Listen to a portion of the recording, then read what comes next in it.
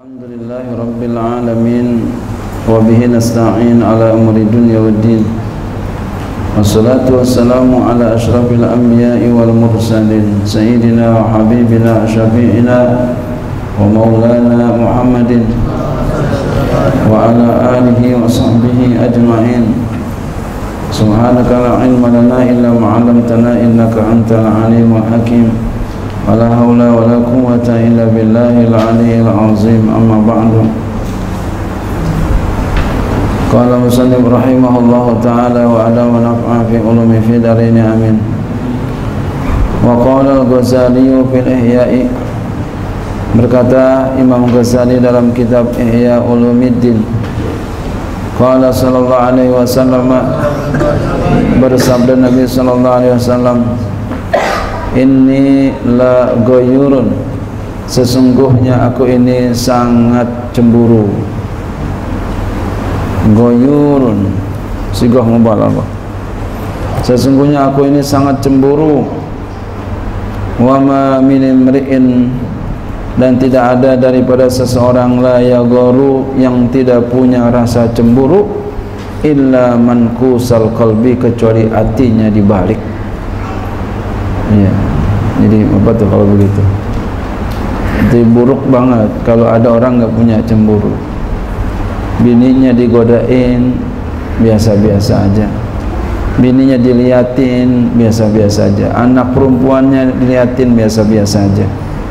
Apalagi mah anak perempuannya diternak innalillah wa inna ilaihi raji'un. Apa itu diternak? Ya. Anak perempuannya berjalan sama laki-laki lain dibiarin aja. Na'udzubillah. Summa na'udzubillah min zalik. Enggak punya rasa cemburu. Ini bisa dayus nanti ya. Jangan sampai demikian. Baik anak kita putri kita ya ataupun anak laki-laki kita apalagi istri kita jangan sampai dia melakukan hal yang dilarang.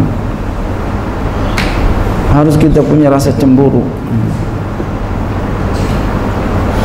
Istri kita ya putri kita harus punya rasa cemburu.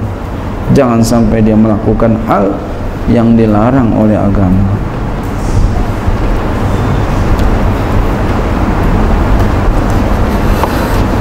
dia ngobrol umpama itu kita harus bilangin ya sebagai orang tua sebagai suami. Istri juga kalau jadi istri ya biar paham. Udah jadi istri kemudian masih ngobrol sama anak laki-laki padahal ada suami padahal punya suami. Jaga kehormatan Kalau kita menjaga kehormatan nanti insya Allah Allah akan jaga kehormatan anak-anak kita. Kalau orang tuanya saja sudah tidak menjaga bagaimana nanti keturunannya. Wa tariqul mughni 'anil ghairati alla yadkhula 'alaiha ar-rijalu wa hiya la takhruju ila al-aswaqi dan watariku jalan al-mughni anil ghairati yang mencukupkan daripada cemburu. Artinya bisa menjauhkan dari cemburu. Enggak ada cemburu. Adalah Allah yadkhula alai ar-rijalu.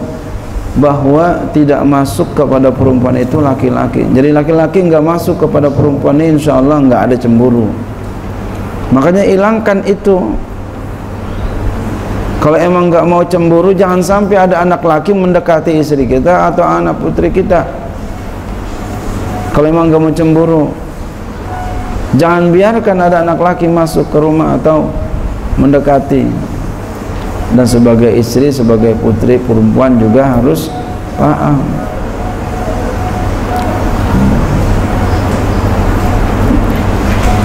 Atau murid kita. Murid itu anak kita guru itu ay ayahanda abuya orang tua. Harus rasa punya cemburu. Sekalipun murid perempuan dia jalan kaki atau digodain kita sebagai guru harus cemburu. Cemburu apa? Marah. Jangan kayak begitu. Gak boleh haram. Cemburu. Cemburu apa? Sayang bukan cemburu yang negatif bukan. Sebagai orang tua sebagai guru. Makanya saya sangat marah sekali kalau ada anak murid saya. Iya. Karena itu anak dari dunia sampai akhirat. Diapain gitu ya? Karena yang rusak bukan kamu doang tuh perempuan rusak nah kamu juga wahai ya wanita harus menjaga. Sudah gurunya sayang menjagain nah, kamu harus jagain. Ringankan beban guru ringan, ringankan beban orang tua.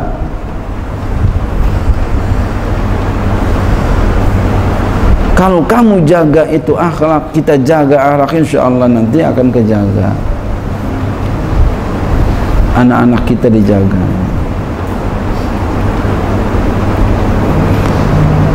Ya, jadi orang tua harus punya rasa cemburu kepada istri, kepada anak-anaknya, putrinya.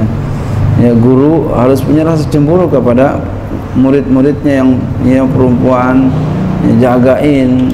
Maksudnya cemburu dalam artian yang positif ya. Jagain. Ya. karena dia nanti akan bertanggung jawab dari dunia sampai akhirat. Nah kita nih yang udah tahu ilmunya hendaknya jangan sampai kita diajarin karena udah belajar. Wa iya la takhruju ila aswaqi dan dia si perempuan tidak keluar ke pasar. Iya. Ini demen banget ke pasar ya demen banget ke pasar. Kalau ke pasar otomatis diliatin sama orang-orang. Jaga. Nggak mau nggak mau keluar kenapa sini aja? Nggak mau. Kenapa malu? Subhanallah. Ini perempuan yang seperti ini intan mutiara. Ya intan mutiara yang ini kalau ya orang tuanya udah kayak begini nanti insya Allah anaknya bagus apa bapaknya bagus terus istrinya apa suaminya bagus, istrinya bagus, ter anaknya tuh bagus-bagus.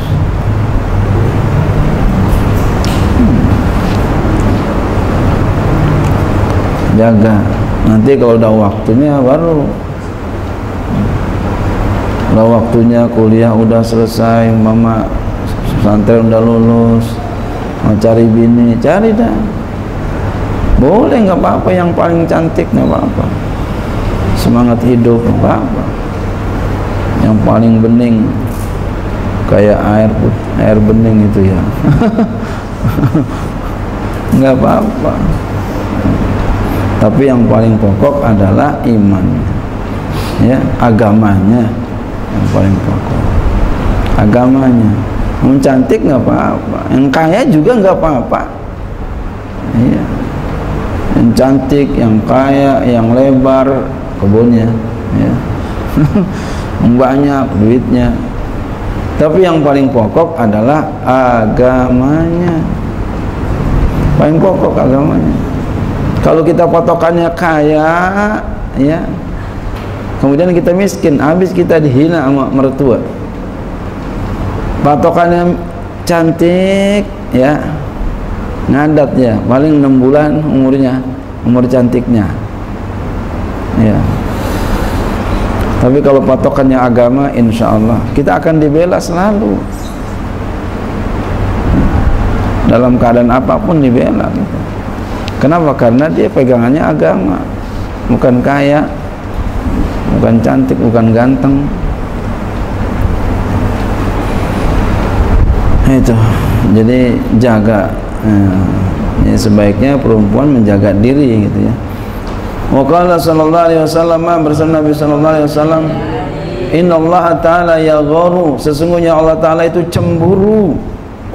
Wa innal mu'mina yagharu Dan sesungguhnya orang mukmin itu cemburu. Wa ghairatullah Cemburunya Allah adalah Ayatiyal mu'minu ma'arramallahu alaihi Cemburunya Allah adalah seorang mukmin melakukan apa yang Allah haramkan atasnya. Cemburu. Kenapa engkau lakukan haram? Aku cemburu kata Allah. Aku cemburu. Aku enggak mau kamu melakukan itu. Aku maunya kamu melakukan yang halal yang diperintah yang dianjurkan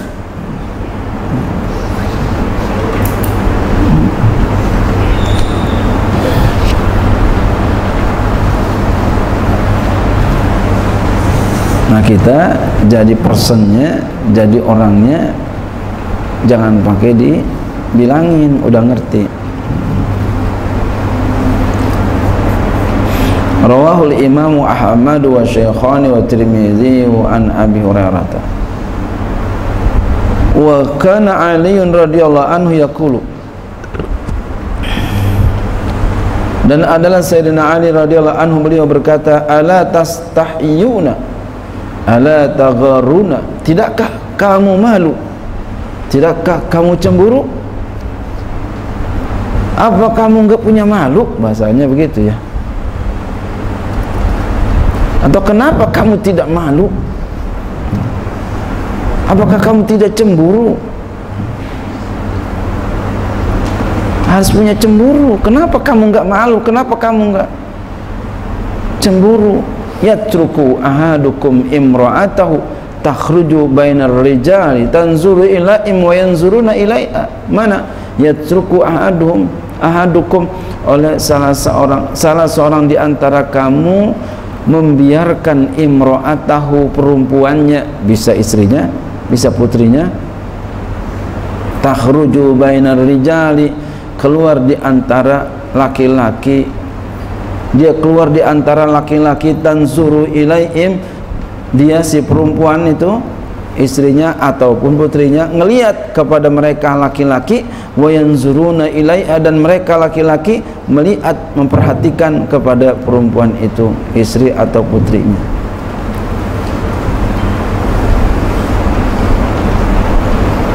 Jalan itu baru jalan doang.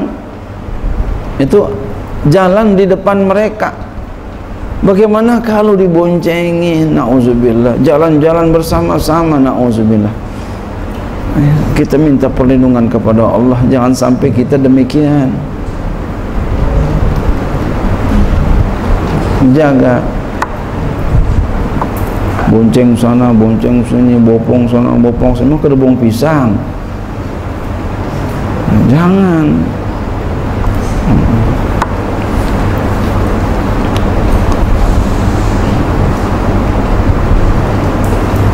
jadi seorang perempuan sama laki-laki mau nggak jadi pacar saya? Yang nggak mau. Maunya apa? Mau jadi istri. Kamu juga jangan nyari pacar nyari istri bukan nyari pacar. Emang udah apein anak orang? Jangan kalau kamu suka mempermainkan anak orang nanti anak kamu dipermainkan orang yang mau mencari, mencari orang yang ingin mencari pasangan hidup istri biasanya dia udah matang udah siap dia. Biasanya begitu. Mau nggak jadi istri saya? Masya Allah. Biasanya ini orang udah siap semuanya dia. Tapi kalau mau nggak jadi pacar saya ini biasanya main-main hmm. ini babnya nih ya. Ya matangin dulu matangin kita. Ini pemirsa yang berada, di mana pun juga ya. Matangin. Sebagai laki-laki ya cari perempuan untuk dinikahi untuk jadi seorang istri. Bukan bukan pacar bukan. Ya tentunya mau lihat dilihat-lihat dulu. Maksud lihat dulu bukan lihat dipretelin bukan. Pretelin bahasa mana tuh ya? Bukan untuk melihat-lihat itu ditanya ya, orang kiri kanannya bagaimana tentang dia. Iya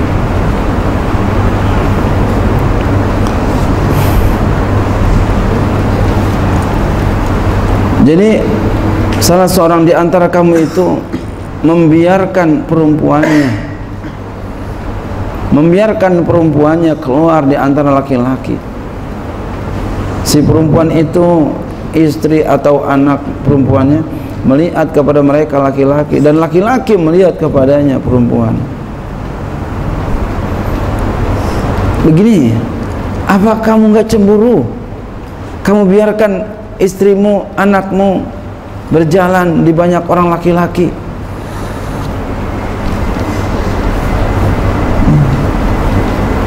Apa enggak cemburu? Ini baru jalan doang. Bagaimana kalau dari bahasanya di ternak, mau jalan. Soalnya kita jalan-jalan berdua. Astagfirullahaladzim. Ada lagi yang lebih bodohnya lagi di ternak di rumahnya. Nauzubillah. Summa nauzubillah min zalik. Astagfirullahaladzim ini ini. Berlindung daripada yang demikian. Jangan sampai.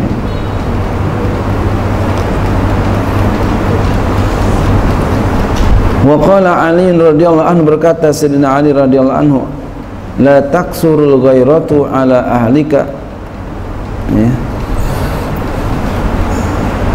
Faturma bisu'i an ajrika tidak banyak rasa cemburu atas keluar atas ya keluarga engkau maksudnya istri engkau ataupun juga bisa ya anak perempuan engkau. Tidak banyak oleh rasa cemburu atas istri engkau. Enggak ada cemburu enggak banyak cemburunya.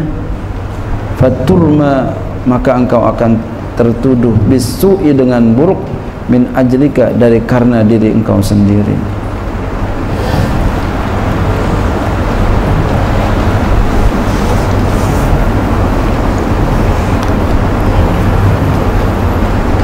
Jadi apa harusnya di sini? Disuruh banyak cemburu. Kalau kita enggak banyak cemburu, kalau enggak banyak cemburu kepada istri, enggak cemburu sama istri, maka ya kita akan kena keburukan. Buruk ya. Enggak ada cemburunya. Faturma bisu'i min ajrika. Jangan juga cemburu buta. Ini enggak boleh. Bagaimana cemburu buta? Suuzon dengan istri. Istri lagi beli sayuran sama abang-abang sayur. Marahnya bukan main. Padahal istrinya bertanya harganya berapa lalu nawar kan wajar. Eh marahnya bukan main, ditarik bininya, diomelin di kamarnya. Nauzubillah, summa nauzubillah min Begini juga nggak boleh. Ya, ini namanya cemburu buta. Jangan juga bini nakal. Nawar sama tukang sayur dikelitik-kelitikin abangnya. Ya ini nggak boleh. Nauzubillah. Ada yang kayak begini. Dibecandain abangnya abang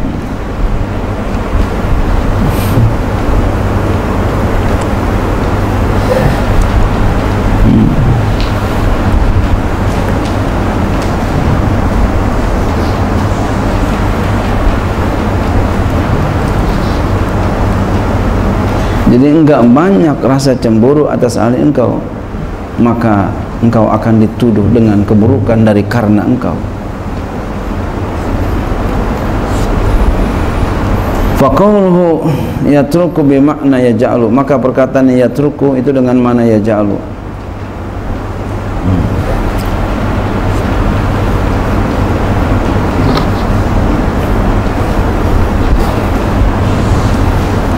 Wa qawlu dan perkataannya imra'atahu maf'ulun awwalun. Itu maf'ul yang pertama.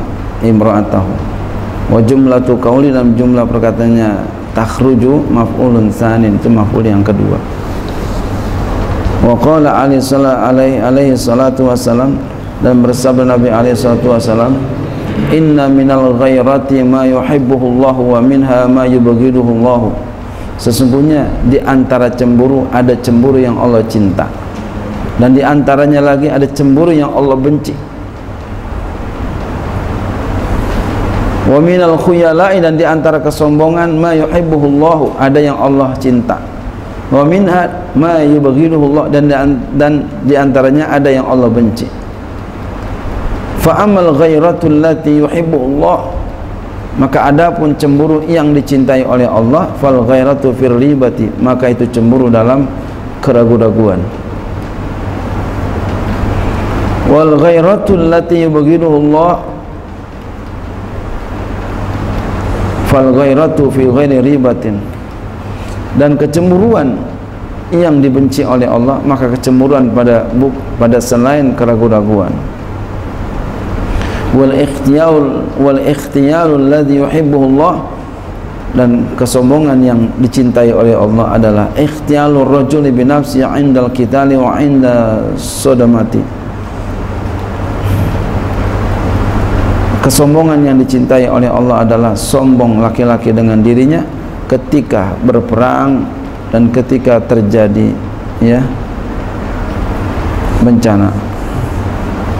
Soal mati ya bisa kita artikan bencana ya atau pergolakan ya. soal mati pukulan bisa juga ya, ya. Tapi ini kan lagi bicara perang ya wal ikhtiyalu alladhi yubghiduhu Allah al ikhtiyalu fil batini. Dan kesombongan yang dibenci oleh Allah adalah sombong pada batil. Berbuat batil tapi sombong. Berbuat batil juga sombong. Na'udzubillah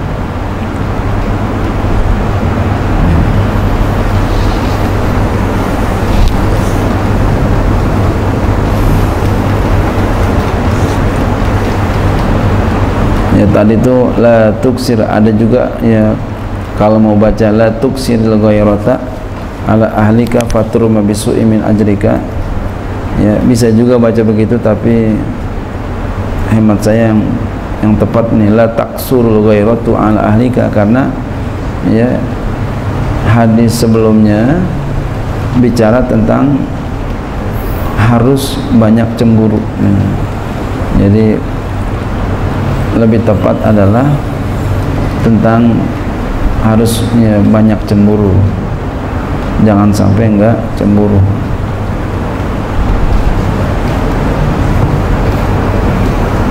Wallahu a'lam bisawab amma zamanuna hadha. Ya.